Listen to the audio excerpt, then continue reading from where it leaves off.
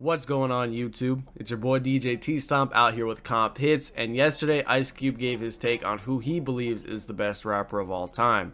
Now, as a rap fan, getting asked who your top 5 is is a very common question, but it's rare that answer doesn't lead to a lot of disagreement or heated debates. Now, yesterday an Ice Cube interview released with the On the Guest List podcast, and of course they had to hit him with a hard question. Who's the greatest rapper of all time? Here was his response. Besides yourself, best best rapper of all time. Go. Wow. Um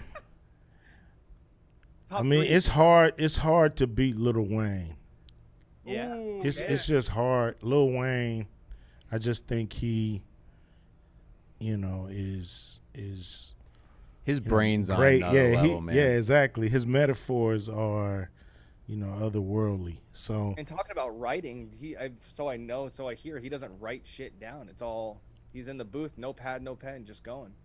just an amazing talent, you know, um, as far as lyrics and can make hits, you know, um, has been, you know, copied and, you know, all these dudes are nothing but clones of Lil Wayne Yep. at the Yep. end of the day. Um, Generally, when this question is asked, the response tends to depend on the person's age or where they're from.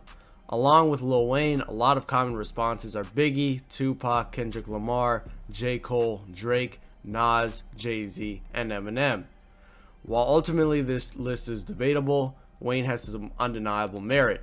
As of the recording of this video, Wayne has 182 records on the Billboard Hot 100, with 25 of those being top 10 hits and 3 of them being number 1 hits. He has 9 albums that have gone at least platinum and 3 albums that have gone gold. His label, Young Money, also ushered in legendary artists like Drake, Nicki Minaj, and Tyga. And mind you, Drake, someone who came from the Young Money label, is another artist who many people argue is the greatest rapper of all time next to Wayne. Alright, at this point, let's put it out in the air. Who's the greatest rapper of all time? Was Ice Cube tripping, or was he speaking the facts that people need to finally accept? Let us know in the comments.